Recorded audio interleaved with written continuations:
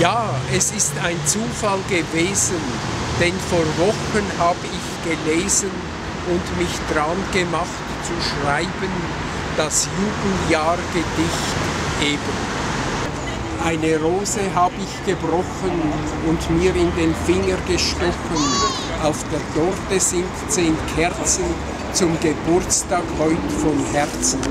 Uns der Uetliberg für die Stadt mit dem Hafenkran an der Limmat ist das Zürcher Filmfestival ein Kinokunst-Happening genial.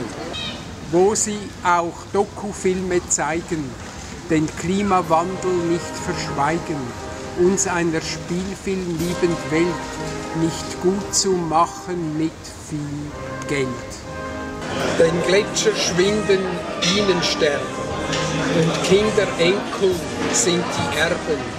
Wir sind im Krieg mit der Natur. Willst du was tun, ist Pflanzenruhe.